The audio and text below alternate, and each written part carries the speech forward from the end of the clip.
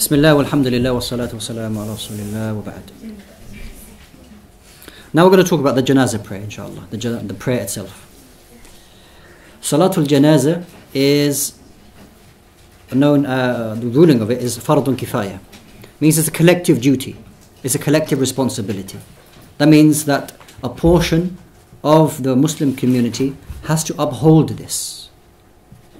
Otherwise, if nobody does it, we are all sinful. Okay, that's what fard kifaya means. It's a communal or collective duty, responsibility. Some of us have to uphold them. If we don't, none of us do it, then we'll all be sinful. The janazah prayer must be performed for every deceased Muslim, even if they were involved in some sin, open sin.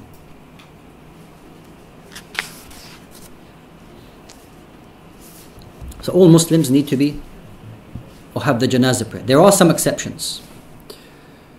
It is not an obligatory, it is not obligatory, an obligation, to pray janazah over children who did not reach the age of puberty. It is not an obligation. If they don't reach the age of adulthood, it is not an obligation to pray the janazah prayer over them. It is allowed. The son of the Prophet ﷺ, Ibrahim, was buried and he ﷺ did not make a janazah for him. He was about 18 months old.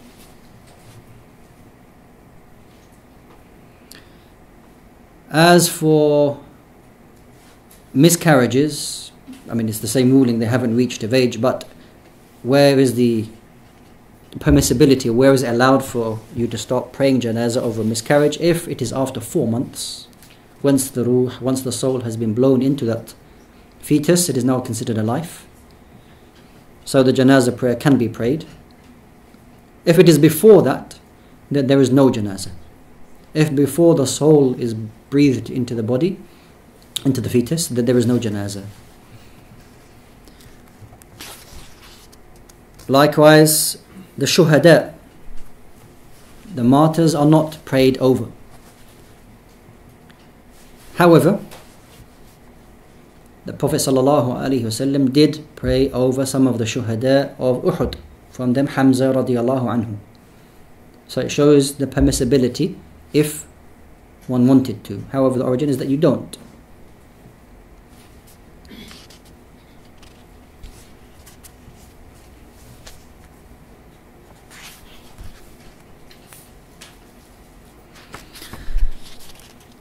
Now, as for the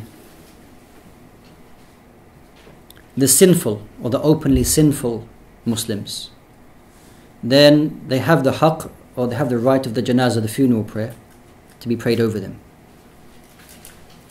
However, it is not recommended, it is disliked for people of standing within the community who have high position within the community to, to lead or participate in the janazah over those open sinners.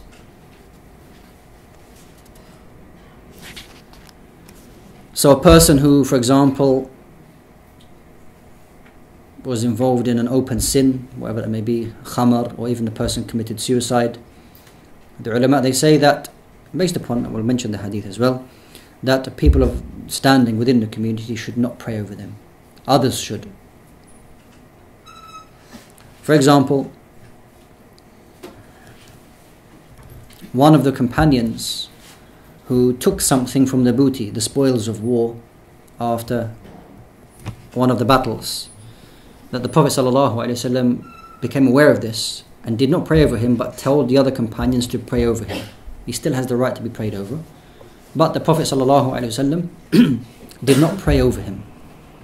So because of this, many of the ulama that they say that people of standing within the community is a well-known understanding in the Sharia that a person who is standing in a who does not pray over open sinners. As for uh, non-Muslims, they are to be buried. Of course, they have to be buried. That is their haqq. That is their right to be buried. If they're living in the lands of Muslims, that is. They have to be buried. But Muslims do not establish a funeral prayer over them. They're not to be prayed over.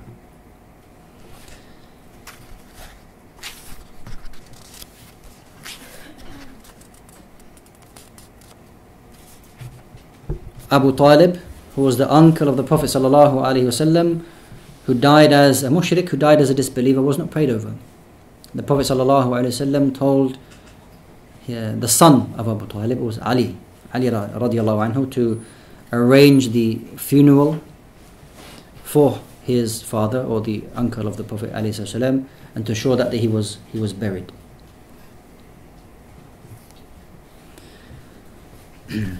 So this is the ruling of al-janaza, the funeral prayer. Where do we pray it? The Prophet ﷺ most of the time would pray outside the masjid in a musalla, a prayer area. This is where the Prophet ﷺ would pray the janaza prayer. It is no doubt permissible, it is allowed to pray the janaza inside the masjid.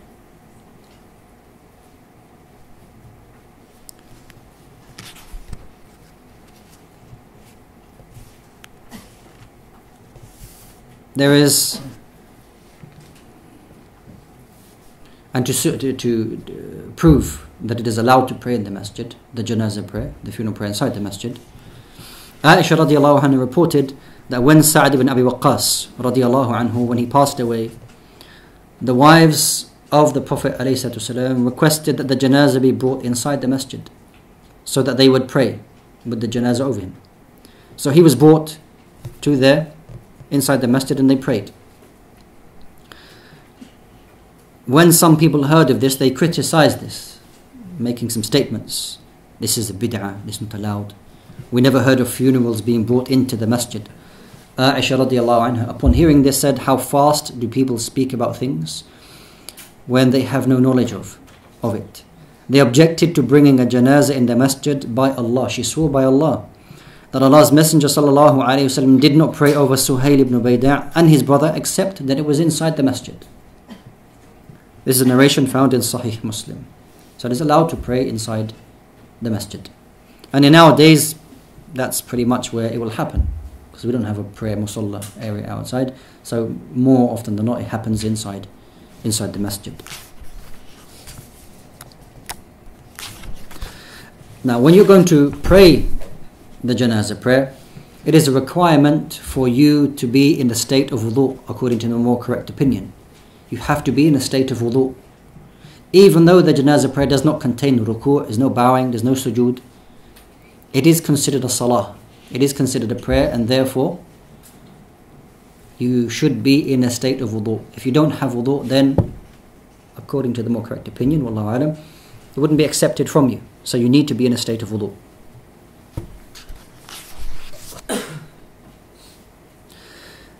It is also recommended that it should be prayed in a jama'ah, that the janazah prayer is prayed in a congregational prayer.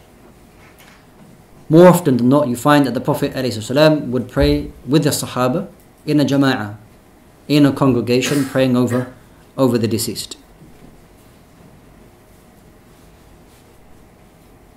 However, if a person wants to pray on their own, it is accepted from them. If they were to pray individually, it is accepted. When the Prophet ﷺ, when he passed away, does anybody know who led the prayer, the janazah prayer over the Prophet ﷺ?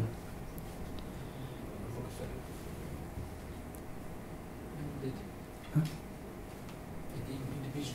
Very good. No one did. They prayed individually. There was no one person who, pray, who led the janazah prayer over the Prophet ﷺ. They prayed individually. They came in at different times and they prayed the janazah prayer over the Prophet. So it shows the permissibility of praying janazah as an individual, not on your own. Who has most right to lead the janazah prayer? Actually, the, the one who has most right to, to lead the prayer is, for example, the leader of the Muslim community. They have haqq, they have most right to lead the janazah prayer.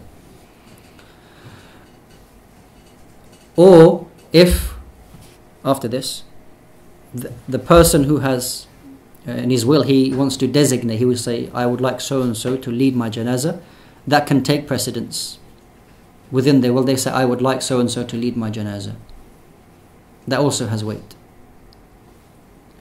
If there is no one amongst themselves there has been there is no leader, if you like, no one has been designated, then we go back to the general principle, the ummul qawm aqra'uhum bi kitabillah, that the one who has most knowledge of the Quran should lead the salah, and this is a hadith found in Sahih Muslim, narrated by Abu Mas'ud al-Ansari.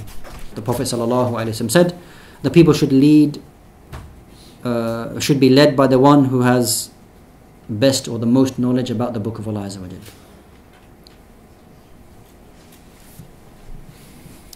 If you begin the salah itself with arranging rows. The Prophet ﷺ would arrange rows in two or three rows. This is best. As the Prophet ﷺ said in a hadith of Malik ibn Hubayra, whenever a Muslim dies and three lines of Muslims pray janazah for him, he is granted forgiveness. This is hadith found in Sunan Abi Dawud. So you have the Imam, he leads, and then you have behind behind him a groups or lines of three. If you can make the lines of in two or three, then this is preferable. If you have the masjid here and you can't just put because of how it's uh, maybe quite restricted and you know the shape of the masjid, and you have more lines than that, then that's of course okay, no problem.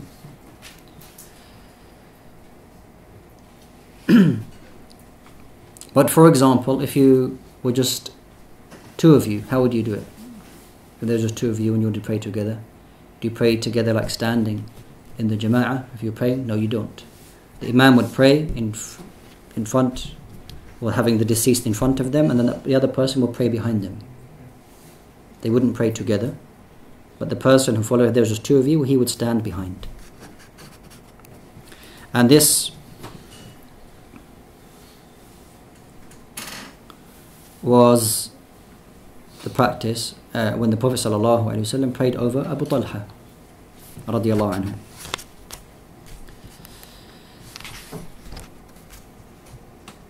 So the position of the Imam is that he will, of course, because he's leading the Salah,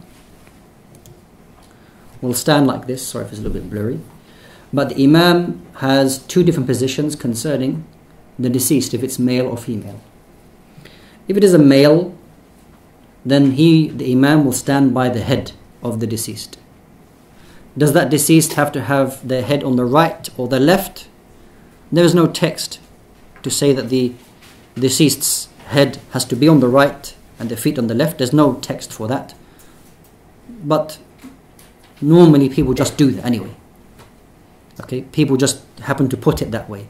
If you happen to, for example, that the head happened to be on the left and the Imam stand, stood at the head, and then after the salah, they said, Oh, the head was on the left, we have to do the janazah again? No, you don't.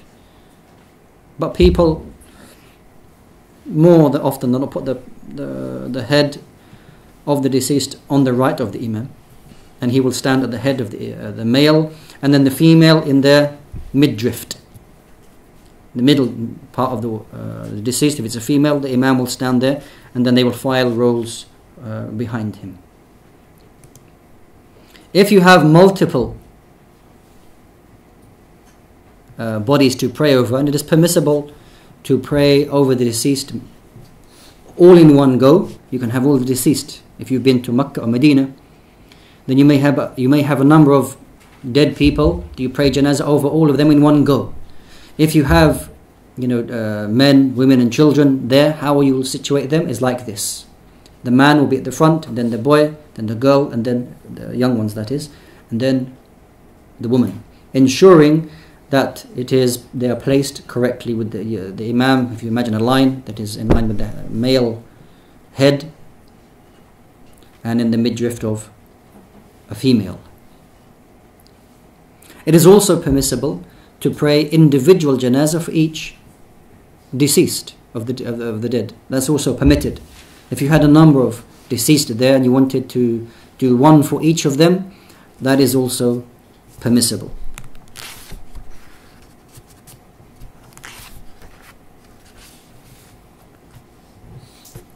Now, before, as you're about to pray the janazah, inform the people whom that they are going to pray. Is it a male? Is it a female? Because when they're making dua, they want to ensure that the dua is, is for a male or a female. And you can mention their name, and that's, that's fine, that's permissible as well.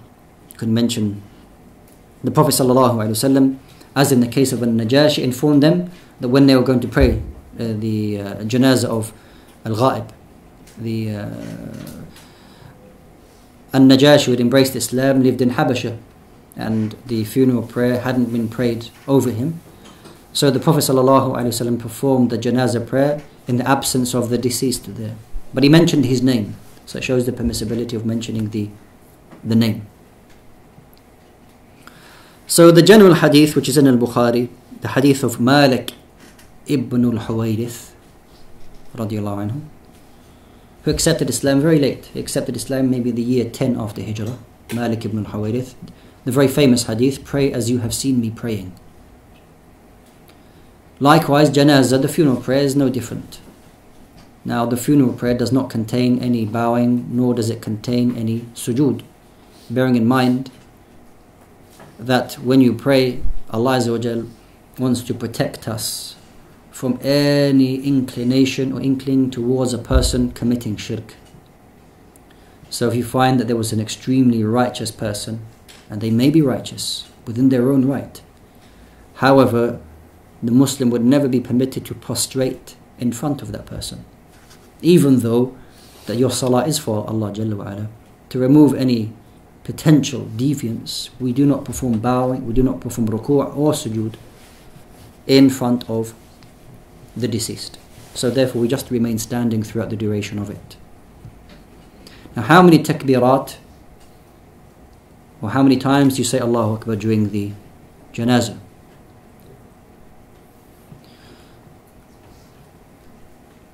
the most common practice with the Prophet ﷺ is that there are four takbirat, four times.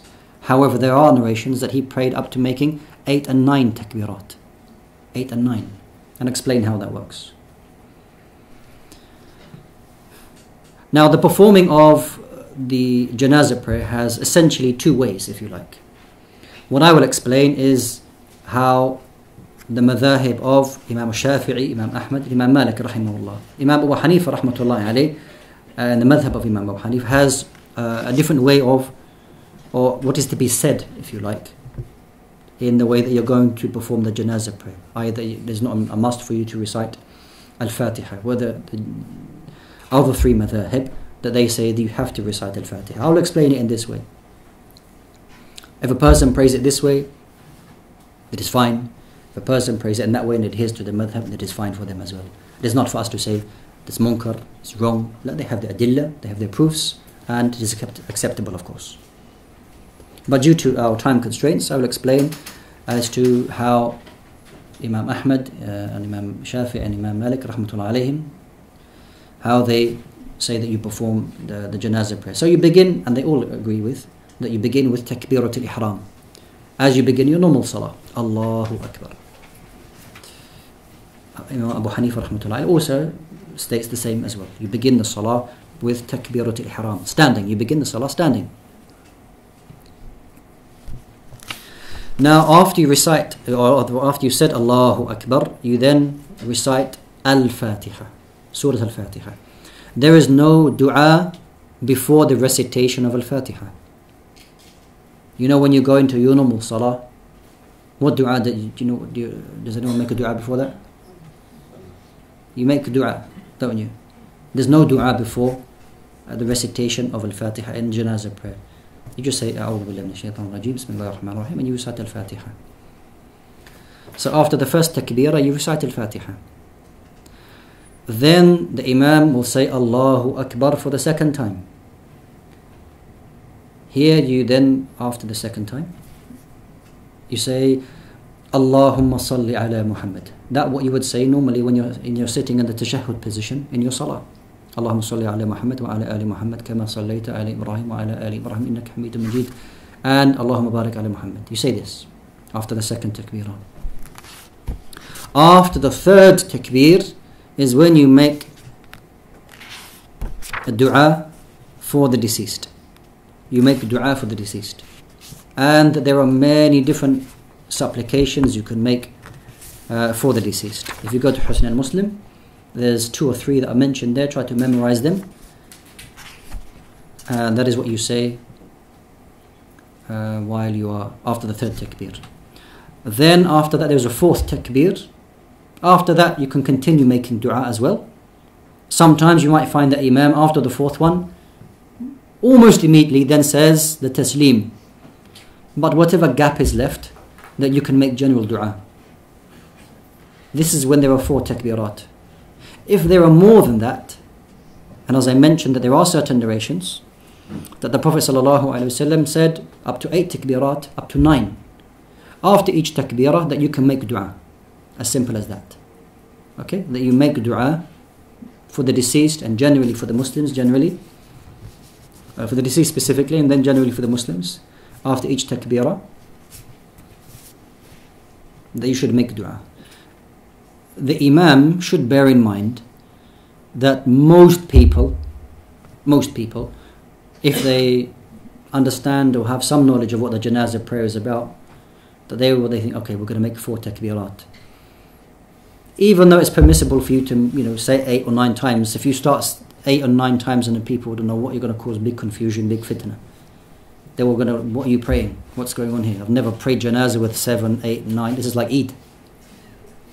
You cause big fitna. So before, before and it is because we don't pray often. Maybe in certain areas you never prayed, or very rarely. Not here, Muntada, for example. It's very rarely we pray janazah prayer. Very rarely. It's good to inform the people to remind them this is how you you uh, how you perform the janazah prayer. We're going to you know make four takbirat. After the first one, you recite Al-Fatiha. After the second one, you say Allahumma salli ala Muhammad. After the third one, you make dua. And after the fourth one, you make general dua. And then we will make taslim. If you're going to make more, then inform the people so that you don't cause fitna, you don't confuse people. Now, upon uh, how do you complete the prayer? Normal. You say Assalamu alaikum wa rahmatullah. And in fact, when you when you finish, you complete your salah.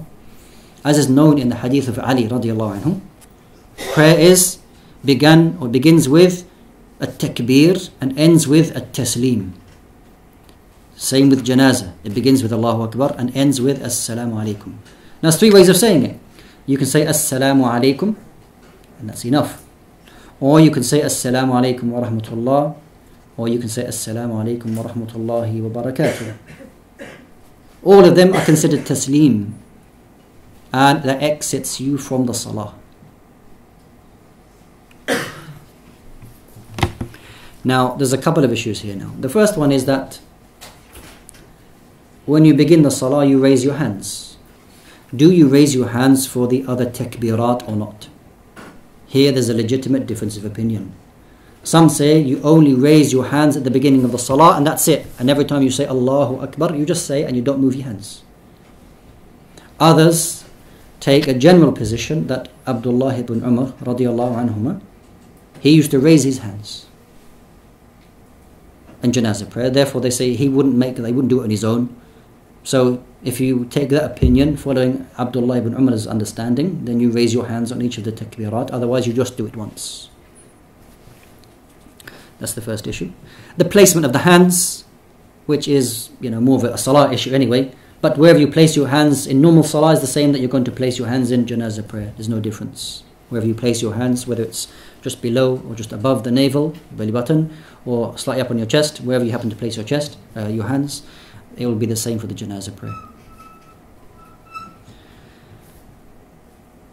So the placement of hands we spoke about. Whether you're going to raise your hands we've spoken about. To end the prayer, Imam Ahmad rahimahullah for example, you complete the janazah prayer with, with only one taslim. So if you've ever been to Mecca or Medina and you pray janazah there, you'll find that they say Assalamu alaikum wa rahmatullah. That's it, one. Whereas the madhab of Imam Abu Hanifa rahimahullah ta'ala will say both, will say two. Okay? Now, an individual may happen to, if you've done one or the other, it's fine. They're both valid opinions. If you are in a community where they would usually make two taslims, but you, however, may follow a different opinion. What would you do here? You would make two taslims so as not to cause fitna. Mhm. So you may be a Hanbali, however, the community is Hanafi, and you happen to be leading the janazah prayer, you should make two so as not to cause fitna amongst the people. And also another issue, and that is that when you make the taslim to finish the prayer, that it shouldn't be said loudly. Upon completion of the taslim and janazah prayer, as uh, found in the hadith of Ibn Abbas radiallahu an, used to make also a silent one taslim in the janazah prayer. Used to say, of course, so the people hear, so that people know when the salah is over, but it is to be said quieter than usual. Okay. When you come late for salah and you've missed one, you've missed two rak'ah, when the imam finishes, you know you get up and you pray two more rak'ah and you complete with the imam. Uh, you complete by yourself. You know, you're aware of that. Okay. Let's say, for example, you you join the janazah prayer and you've missed a portion of the takbirat, and we can assume that there is Uh, that he's going to do four. You arrive at the salah, janazah prayer, and then you say Allahu Akbar. That's your takbirat al-ihram. And then the imam then says Assalamu alaykum wa rahmatullah. They've all finished. What do you do now? You know that there are three remaining takbirat. There are three remaining takbirat. So in the first one you would have begun Alhamdulillah Rabbil Alameen. Ar-Rahman Ar-Rahim. You recite Al-Fatiha. Imam makes taslim. So then you say Allahu Akbar. And then you say Allahumma salli ala Muhammad. And then you say okay, Allahu Akbar. If you're going to raise your hand, I'm doing hands, but you don't have to raise your hands. Uh, and then you complete the salah by yourself. Okay, that's how you make up if you come late to the janazah prayer.